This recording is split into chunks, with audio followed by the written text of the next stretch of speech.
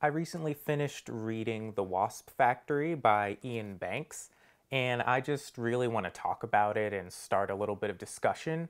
Uh, before I get into any kind of spoiler territory, I'll give a brief overview of the plot in case you're looking for something spooky to read and you haven't read it or heard about it yet.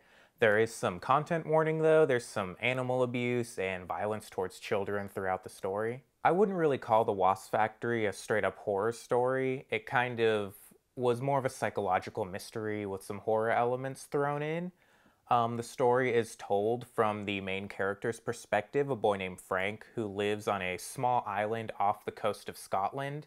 That island does have a bridge to the mainland where there is a small village, so it's not completely isolated. We very quickly find out that Frank is an odd kid who has these weird superstitions and rituals and for the most part, he's free to do whatever he wants on the island with little to no supervision from his father, who is the only other inhabitant at the time on this island. Right away, Frank's father is described as being a little eccentric. He lies to his children for fun. He makes them memorize the measurements of random objects around the house and will just quiz them.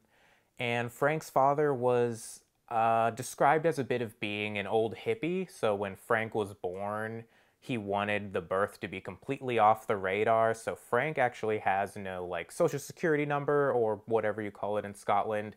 And so for the most part, Frank doesn't officially exist. Frank has spent most of his life on the island and has pretty much been homeschooled by his father or taught himself pretty much everything he knows. He does have one friend who lives in the nearby village named Jamie, who he'll go to the pub with sometimes on weekends. The story kicks off with the local officer visiting Frank's father and letting him know that Frank's brother Eric has escaped a mental hospital he's been institutionalized at, and he is probably making his way towards the island. And they are looking for him, but they haven't found him yet. This still isn't spoiler territory because you can pretty much read this on the back of the book, but Frank lets us know through his narration that he's already killed three people throughout his youth, and then that combined with Eric escaping from the hospital and making his way back home is kind of the driving force of the narrative. Eric will occasionally make phone calls back home, and Frank's usually the one who answers. And throughout this framing device, it's revealed why Frank killed those three people, um, why Eric was confined to a mental institution, and it explores the pretty abusive relationship between Frank and his father. Frank's detached manner of speaking and lack of empathy in his narration can add some dark comedy to what otherwise might be a little bit unreadable because of how brutal and how dark some of the uh, more violent portions of the story are. But I did find the book itself like beautifully written. It was easy to read and very compelling. Like I couldn't really put it down at some points. And I ended up reading the story in probably three or four days. Um, I highly recommend it if you're looking for something spooky and something a little dark and different to read. Alright, so I think I'm to move into some spoiler territory now. So if you haven't read the book, I recommend closing the video and reading it. It's not to take very long, and then coming back with some of your ideas and theories. Um, I'm not like a literary scholar of any kind. I just like stories and like to talk about them, so kind of take that with a grain of salt. All of this stuff is just theories that I came up with after reading the book and thinking about it for a little bit. So I'll give a couple more seconds as a buffer in case someone needs to close the video. And now I'm just going to get the big reveal out of the way. Throughout the story, Frank mentions that he has a disfigurement and that he can never really fully be a man because of an accident that he had when he was a child. Frank reveals that they had a family dog growing up that he admits that he liked to pick on and poke at maybe a little bit too much and one day he probably pushed the dog too far and it attacked him.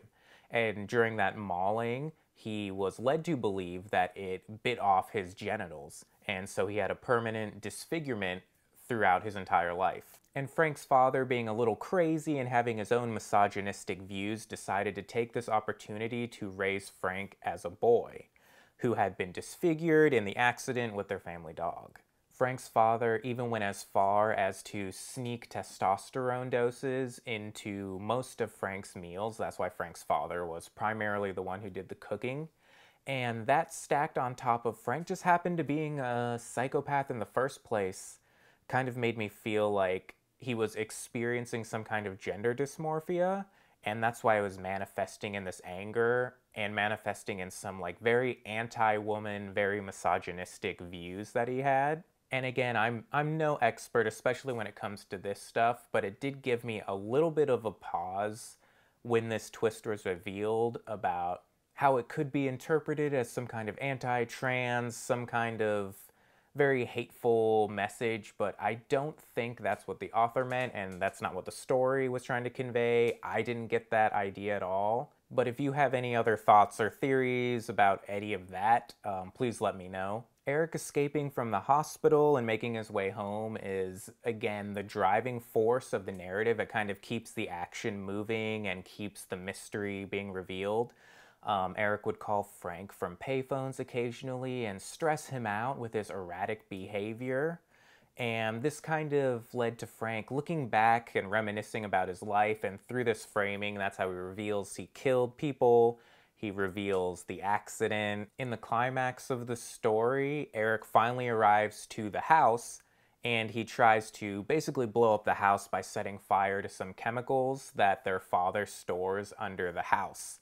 Um, this is kind of resolved pretty quickly. Frank is able to stop the fire, Eric escapes, and then later that night, after Frank and her father clean it up, they kind of have a talk, and Frank forces him to tell her what happened, and that's how she finds out about the accident being a lie and that she was actually a girl the entire time. I do have a theory about how this buildup was resolved so quickly and what it has to do with Eric making his way back home. Frank's world was turned upside down, and she pretty much decides that she has to leave the island and explore the outside world, which was something Frank had no interest in at all. She was happy to be on the island. She was able to do pretty much anything she wanted unchecked. And throughout the story, she even admits she has a pretty healthy fear of the outside world. I kind of interpreted Eric's menacing journey back home as kind of Frank's fear of the outside world creeping in on her island, where Frank had complete control over everything. By the end of the story, it's revealed to Frank that she was actually a girl the entire time. And after she makes peace with that, she also makes peace with the fact that she needs to leave the island.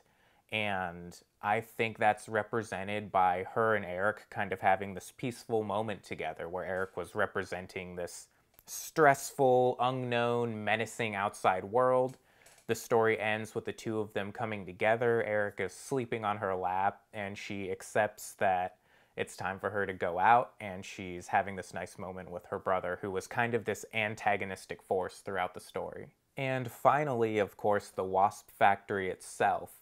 In the book, it's described as a giant clock faced death mechanism where basically every hour tick on the clock has a different door, which leads to a different method of basically killing a wasp. Frank puts the wasps in the wasp factory and then waits for them to make a decision about which path they want to go down.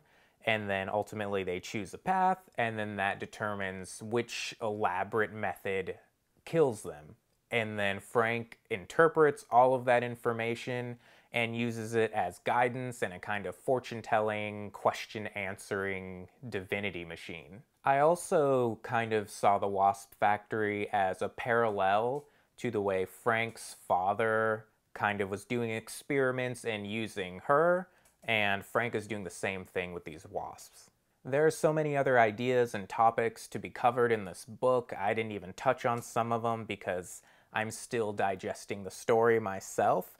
Um, overall, I really liked The Wasp Factory. Um, it was a quick and easy read. Again, there's some like content warnings of, you know, animal abuse and violence towards children. Um, but the story and the mystery was compelling. I liked the twist, even though I can see how it can be a little problematic, but I don't think it was intentionally meant to be that way. Um, I had trouble putting it down because I really wanted to find out what was happening between Frank and Eric and their father. Um, let me know what you thought of the book, if you read it, if you liked it, if you have any other theories, or if you think I'm completely wrong. Um, yeah, I thought it was a good book and I recommend it.